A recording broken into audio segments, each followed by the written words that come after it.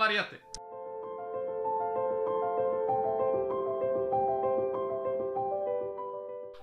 E, dzisiaj w filmiku, nie przedłużając już, e, chcę pokazać te nasiona, które jeszcze domówiłem.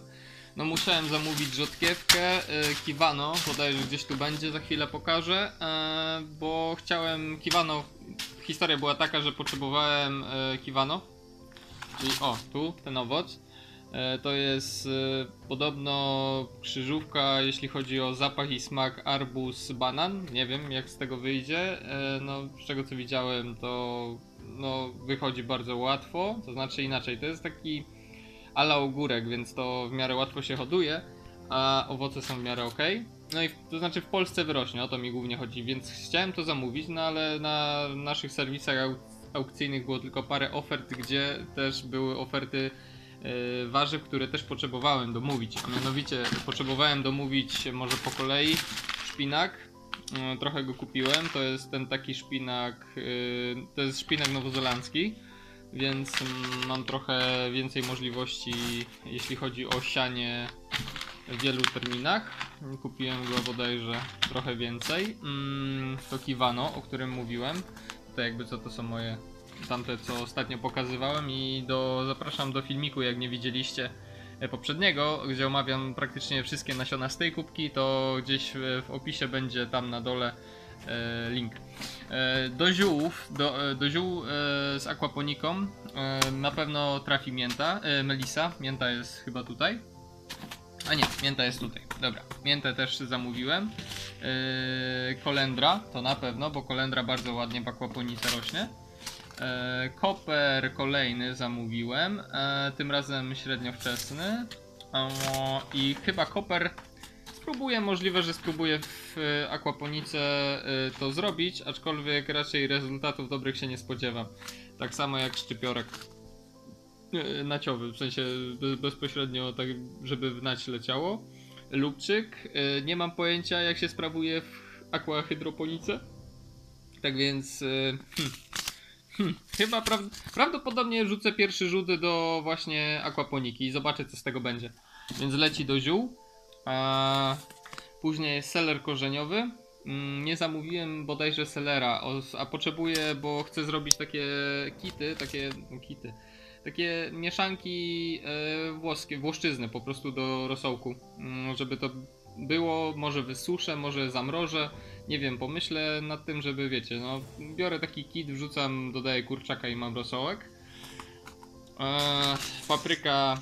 Jednak zamówiłem mniej papryk. Myślałem, że tutaj jeszcze domówiłem jedną słodką, a zamówiłem same ostre.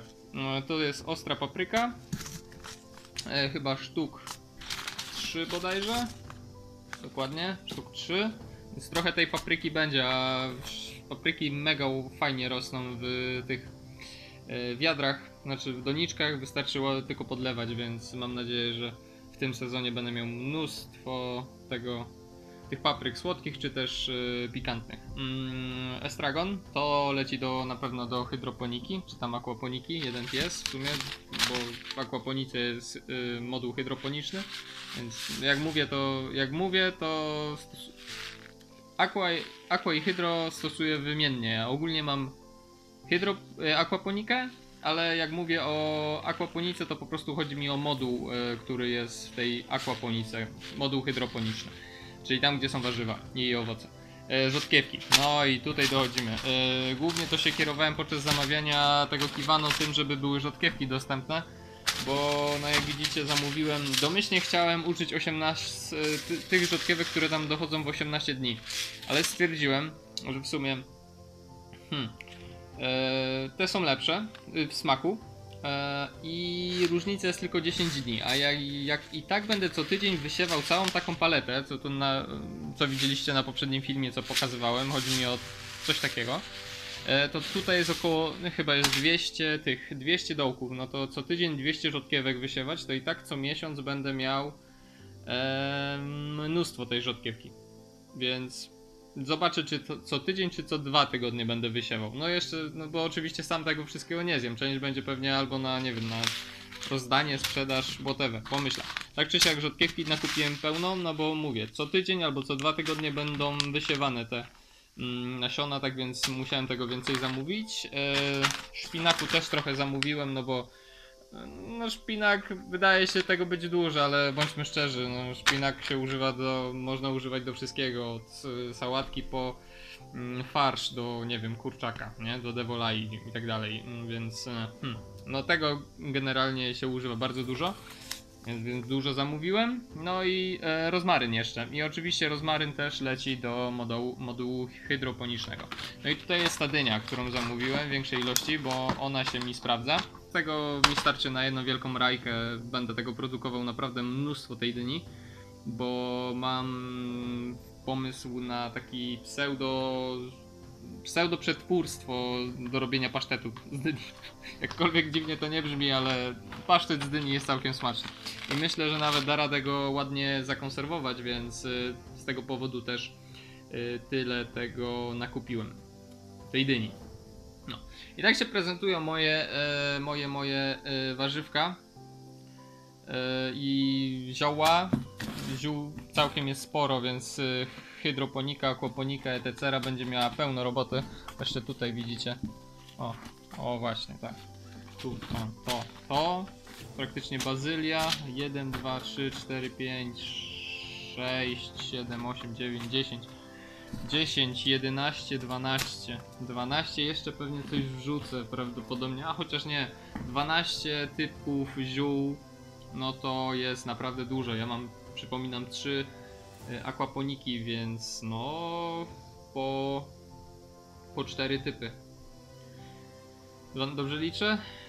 Trzy aquaponiki? No tak, bo jeśli jest tutaj faktycznie 12 i nic jeszcze nie przegapiłem, a już widzę, że przegapiłem, bo mam tutaj bazylię cynamonową chociażby jeszcze, no to powiedzmy te po 4, po 5, po 5 y, typów, no to będę musiał podzielić aquaponikę na 5 sek y, każdą na 3 sekcje.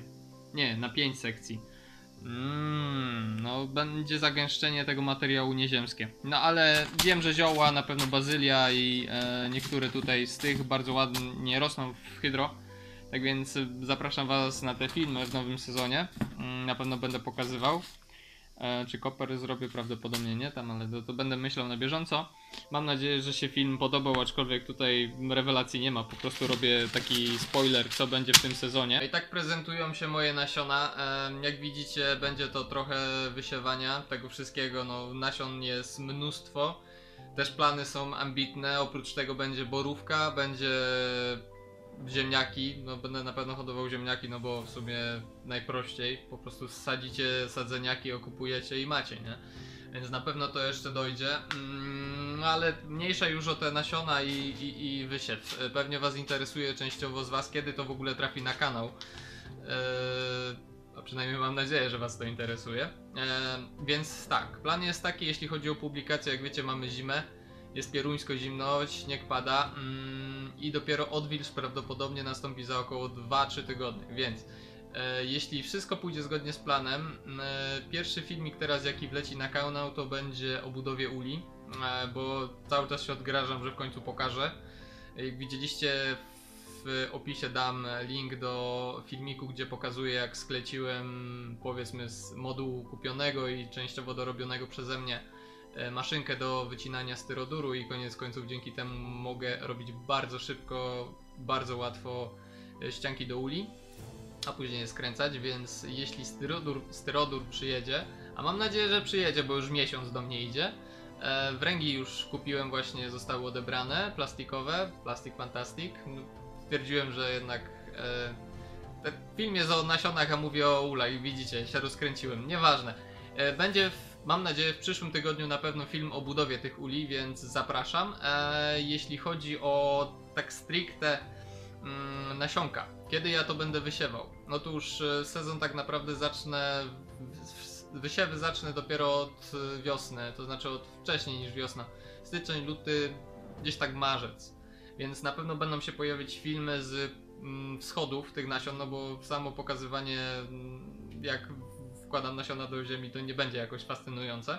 Aczkolwiek może jakiegoś zrobię tam te, e, zrobię jakiegoś time skipa, więc e, wy to zobaczycie bardziej profesjonalnie.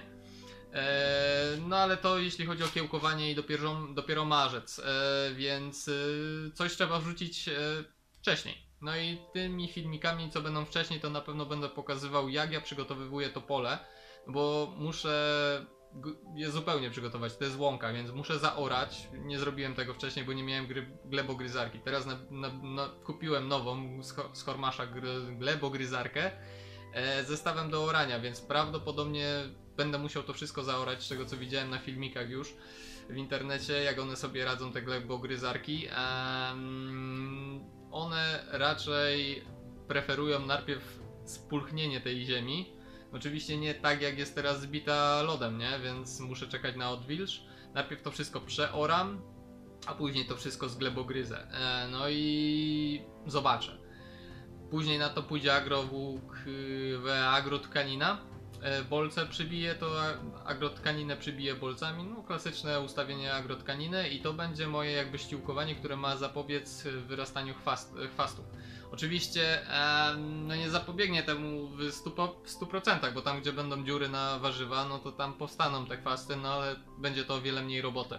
Też będzie zatrzymywana wilgoć, więc w naszym klimacie zmieniającym się to będzie jak najbardziej na plus. System nawadniania będzie potrzebny e, i budowa takowego nastąpi mm, dopiero w maju zakładam, bo wcześniej może będę miał czas, ale nie pali się, bo tak naprawdę w maju dopiero trzeba mocno podlewać moim zdaniem warzywa. Mm, to znaczy podlewać cały czas trzeba, tylko że w maju już są cieplejsze dni takie, gdzie ta ziemia może mi przeschnąć, nie? więc y, to jest ważne. Bardziej, że większość warzyw tak naprawdę w maju się będzie, będzie pikowane do ziemi, więc no, wtedy się tak naprawdę prawdziwa uprawa zaczyna. Mm, Więc w- mówimy o maju.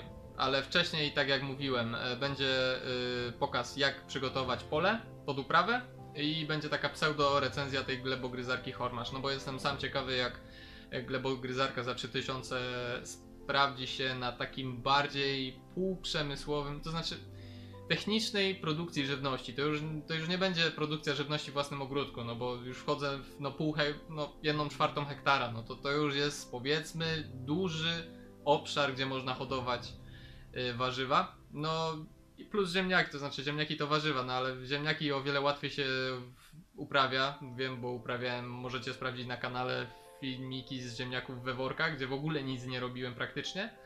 No i wyrosły i miałem całkiem ładne zbiory. No. A, no i pewnie kupię kolejne baloty boczniaka, bo tamte jednak mi zgniły prawdopodobnie, bo wsadziłem je do. bo było za.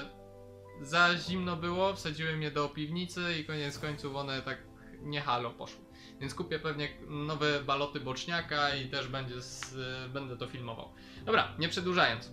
Jeśli film się podobał, jeśli chcecie oglądać kolejne moje filmy, to kliknijcie to z boku albo z tego boku, nie pamiętam, e, dzwoneczek i subskrypcję. Mm, Nie zapomnijcie napisać komentarza jakiegokolwiek, najlepiej mery, merytorycznego, bo to motywuje do dalszej pracy i powoduje dyskusję. Możemy o czymś porozmawiać ciekawym odnośnie jakiegoś, nie wiem, jak, jak prezerwować e, warzywa, które już zbiorę.